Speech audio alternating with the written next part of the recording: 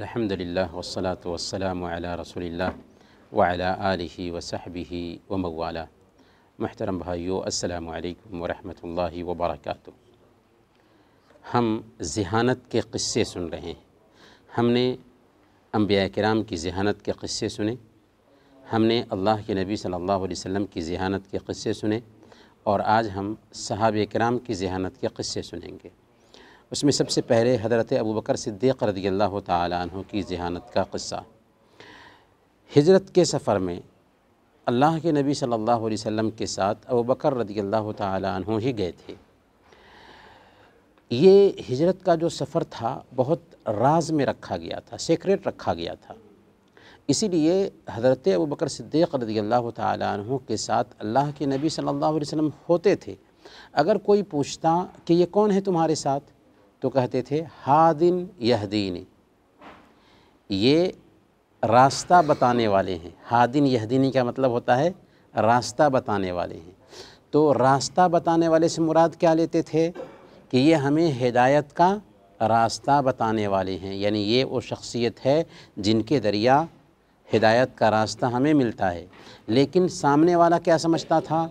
کہ یہ سفر کا راستہ بتانے والے ہیں۔ تو حضرت ابوبکر صدیق رضی اللہ تعالیٰ عنہ نے یہاں پر اپنی ذہانت سے یہ لفظ استعمال کیا کہ ہمیں راستہ بتانے والے ہیں۔ اسی طریقے سے صحیح بخاری اور صحیح مسلم کی روایت ہے۔ ابو سعید خدری رضی اللہ تعالیٰ عنہ بیان فرماتے ہیں کہ اللہ کے نبی صلی اللہ علیہ وسلم نے ایک دن خطبہ دیا اور اس خطبہ میں فرمایا کہ اللہ تعالیٰ نے ایک بندے کو اختیار دیا۔ کہ چاہے تو دنیا اختیار کرے، چاہے تو اللہ کے پاس جو ہے اسے اختیار کر لے۔ ابو بکر رضی اللہ تعالیٰ عنہ نے یہ بات سنی تو رو دیے۔ وہ کہتے ہیں کہ ہمیں تعجب ہوا کہ یہ کیوں رو رہے ہیں؟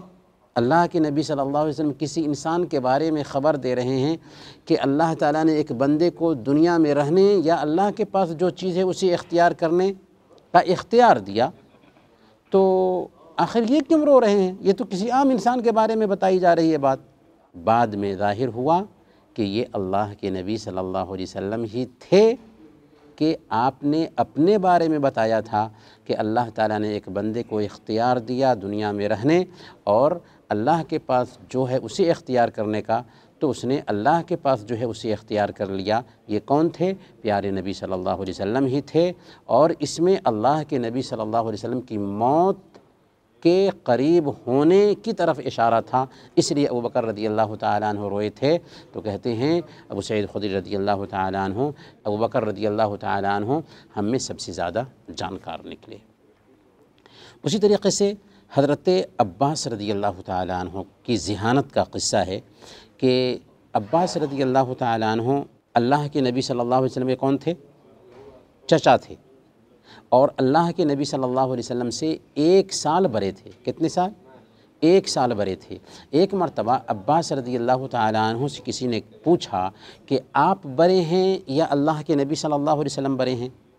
تو عباس رضی اللہ تعالیٰ عنہ نے کیا کہا؟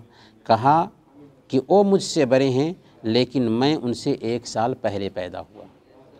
کیا کہا؟ وہ مجھ سے بڑے ہیں، لیکن میں ان سے ایک سال پہلے پیدا ہوا.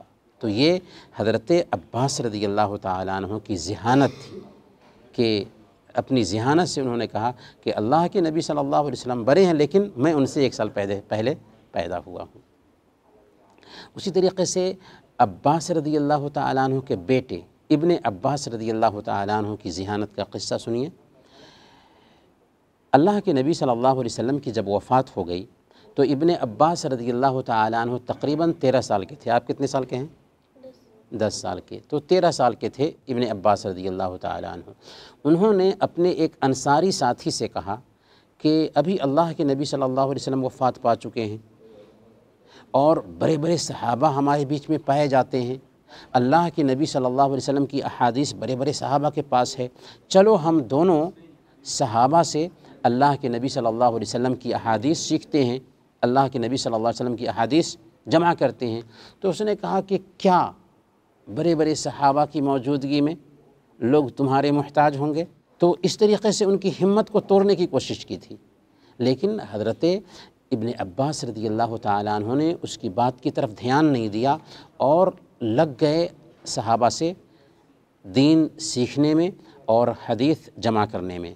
چنانچہ کہتے ہیں کہ میں کسی صحابی کے گھر جاتا، وہ قیلولہ کر رہے ہوتے تو میں ان کے دروازے پر بیٹھ جاتا، یہاں تک کہ ہوائیں آتی، مجھے نیند آ جاتی تھی اور غبار وغیرہ سے میرا جسم اٹ جایا کرتا تھا۔ پھر جب وہ آتے، وہ جو دیکھتے تو کہتے کہ آپ کیوں آئے؟ اللہ کے نبی صلی اللہ علیہ وسلم کے جزا کے بیٹے، آپ ہمیں حکم دیتے، ہم آپ کے پاس آتے۔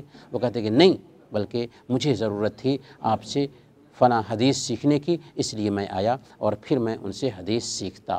یہاں تک کہ ایک وقت آیا کہ لوگ میرے پاس جمع ہونے لگے اور دین سیکھنے لگے، تو اس نوجوان نے کہا ہاد رجل کانا عقل منی۔ ہاد رجل کانا عقل منی۔ کہ یہ بندہ مجھ سے بہت چالاک نکلا۔ تو چالاک کیسے ہوئے؟ اس لیے کہ انہوں نے محنت کی تھی۔ وقت لگایا تھا، صحابہ سے علم سیکھا تھا، تو اس کی وجہ سے چالاک ہوئے۔ تو اس سے پتہ کیا چلا؟ اس سے پتہ یہ چلا کہ ایک انسان کو محنت کرنی چاہیے، وقت لگانا چاہیے، کوشش کرنی چاہیے، اور اس کا نتیجہ بہرحال ایک آدمی کو ملتا ہے۔ تو حضرت ابن عباس رضی اللہ تعالیٰ عنہ کی ذہانت تھی، چالاکی تھی کہ صحابہ کے بیچ چھوٹی عمر کے ہونے کے باوجود بڑے عالم بن گئے۔ اسی طریقے سے حضرت عبداللہ بن عمر رضی اللہ تعالیٰ عنہ کی ذہانت کا بھی قصہ بہت مشہور ہے۔ صحیح بخاری اور صحیح مسلم میں یہ قصہ آیا ہے۔ اللہ کے نبی صلی اللہ علیہ وسلم نے ایک دن صحابہ کرام سے کہا، ان من الشجر شجرتن لا يسقط ورقها وانها مثل المؤمن کہ درختوں میں سے ایک درخت ایسا ہے جس کے پتے نہیں گرتے۔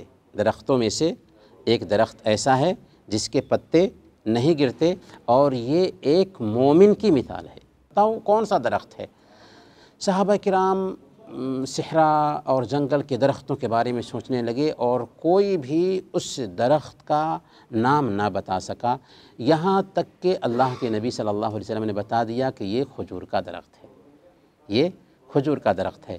تو ابن عمر رضی اللہ تعالی عنہ جب مجلس برخاست ہوئی تو اپنے باپ کے ساتھ جب نکلے تو کہا کہ مجھے جواب معلوم تھا۔ لیکن بڑے بڑے صحابہ موجود تھے، اس لیے میں نے نہیں کہا کہ یہ کھجور کا درخت ہے۔ تو عمر رضی اللہ تعالیٰ نے کہا کہ اگر تم جواب دے دیتے اللہ کے نبی صلی اللہ علیہ وسلم کی مجلس میں، تو میرے لیے یہ یہ چیز ملے، اس سے بہتر تھا۔ تو یہاں پر بھی حضرت ابن عمر رضی اللہ تعالیٰ عنہ کی ذہانت دیکھیے کہ چھوٹے بچے ہیں۔ اللہ کے نبی صلی اللہ علیہ وسلم کی مجلس میں بیٹھے ہوئے ہیں، لیکن اللہ کے نبی صلی اللہ علیہ وسلم کی مجلس سے فائدہ اٹھا رہے ہیں اور ان کی ذہانت دیکھیے کہ اللہ کے نبی صلی اللہ علیہ وسلم نے جب ایک کے سوال کیا تو اس کا جواب ان کو معلوم ہے، حالانکہ بڑے بڑے صحابہ کو اس کا جواب نہیں معلوم۔ اسی طریقے سے ایک قصہ ہے حضرت علی رضی اللہ تعالیٰ عنہ کی ذہانت کا۔ امام ابن الجوزی رحمۃ اللہ علیہ نے کتاب الاذکیہ میں اسے بیان کیا ہے۔ کہ دو آدمی ایک عورت کے پاس آئے اور اس عورت کے پاس سو دینار امانت رکھا۔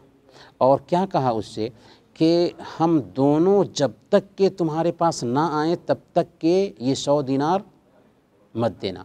یعنی کسی ایک کو مت دینا، دونوں آئیں تبھی دینا۔ کچھ دنوں کے بعد ان میں سے ایک آدمی آیا اور عورت سے کہا کہ دیکھو، ہم میں کا ایک ساتھی جو تھا نا، وہ وفات پا گیا ہے، اس لیے مجھے دے دو۔ عورت دینے کے لیے تیار نہیں تھی کیونکہ شرط تھی کہ دونوں آئیں تب دینا۔ لیکن اس نے اپنے رشتہ داروں کو جمع کیا، گواہ بنایا، یہاں تک کہ اس عورت نے اس کو دے دیا۔ پھر دوسرا شخص آیا۔ کچھ دنوں کے بعد اور وہ عورت سے مانگنے لگا کہ ہمارا جو مال سو دینار تھا، وہ ہمیں دے دو۔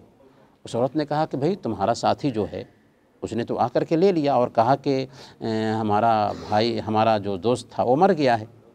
تو اب میں کیا کروں؟ اس عورت نے یہ کیس لے جا کر کے پیش کیا حضرت علی رضی اللہ تعالیٰ عنہ کے پاس۔ حضرت علی رضی اللہ تعالیٰ عنہ نے کہا کہ ٹھیک ہے، کوئی بات نہیں، تمہیں پیسہ ملے گا۔ لیکن تم نے کیا کہا تھا؟ جب اس عورت کے پاس پیسے رکھے تھے تو یہی نہ کہا تھا کہ ہم دونوں آئیں، تب ہمیں یہ سو دینار دینا۔ تو جاؤ، اپنے اس ساتھی کو بھی لے کر کے آؤ جو دونوں کے دونوں مل کر کے پیسے جمع کیے تھے۔ تو ہم ضرور تمہیں دیں گے اور یہ ضمانت میری ہے۔ چنانچہ وہ لوٹ کے چلا گیا اور نہیں آیا۔ کیوں؟ اس لیے کہ اگر اپنے ساتھی کو لے کر کے آتا تو وہ ساتھی تو لے کر کے گیا تھا اور وہ اعتراف کرتا۔ تو یہ حضرت علی رضی اللہ تعالیٰ عنہ کی ذہانت تھی۔ حضرت حدیفہ رضی اللہ تعالیٰ عنہ کی ذہانت کا قصہ ہے جنگ خندق کے موقع سے۔ اللہ کے نبی صلی اللہ علیہ وسلم نے حضرت حدیفہ رضی اللہ تعالیٰ عنہ سے کہا تھا کہ تم جاؤ اور دشمن کی خبر لے کر کے آؤ۔ حضرت حدیفہ رضی اللہ تعالیٰ عنہ گئے اور دشمن کے بیچ میں تھے تو قریش کا لیڈر ابو سفیان تھا۔ اس کو شک ہوا کہ شاید ہمارے بیچ دشمن کا کوئی آدمی ہے۔ اس لیے اس نے کیا کہا؟ اس نے کہا کہ ہر آدمی اپنے بادو والے کو دیکھے۔ ہر آدمی اپنے بادو والے کو دیکھے۔ حضرت حدیفہ رضی اللہ تعالیٰ عنہ جو گئے تھے دشمن کا راز جاننے کے لیے۔ جب ابو سفیان قریش کے لیڈر کی یہ بات سنتے ہیں کہ وہ کہتا ہے کہ ہر آدمی اپنے بادو والے کو دیکھے تو سب سے پہلے آگے بڑھ کر کے پوچھ دیتے ہیں تم کون ہو؟ تم کون ہو؟ تو یہ پوچھنا تھا کہ وہ بچ گئے، ورنہ وہ ان لوگوں کے بیچ میں سے نہیں تھے۔ تو حضرت حدیفہ رضی اللہ تعالی عنہ کی یہ چالاکی تھی کہ دشمن کا راز جاننے کے لیے گئے تھے، راز بھی جان لیا اور جب ابو سفیان نے یہ اعلان کیا تھا کہ دیکھو کہ تمہارے آس پاس میں کون ہے، ہر ایک اپنے آس پاس کے آدمی کے بارے میں جانے، تو فوراً حضرت حدیفہ رضی اللہ تعالیٰ عنہ نے اپنی ذہانت سے سوال کر دیا آگے بڑھ کر کے کہ تم کون ہو؟ اور تم کون ہو؟ کہا جاتا ہے کہ ایک طرف میں حضرت امیر معاویہ تھے ابھی اسلام نہیں قبول کیے تھے، دوسری طرف میں عمر بن آس تھے، رضی اللہ عنہما، جو بعد میں اسلام قبول کیے۔ تو یہ لوگ بہت تیز لوگ تھے، لیکن پھر بھی حضرت حدیفہ رضی اللہ تعالیٰ عنہ اپنی ذہانت سے، اپنی چالاکی سے بچ جاتے ہیں۔ یہ سوال کر کے کہ تم کون ہو؟ کہ ان سے پوچھا نہ جائے۔ بلکہ یہ صحابہ کرام رضی اللہ عنہم اجمعین کی ذہانت تھی۔ انشاءاللہ صحابیات کی ذہانت کے بارے میں بھی جانیں گے۔ اگلے درس میں انشاءاللہ، وصلی اللہ علیہ نبینا محمد وعلی آلہ وصحبہ اجمعین۔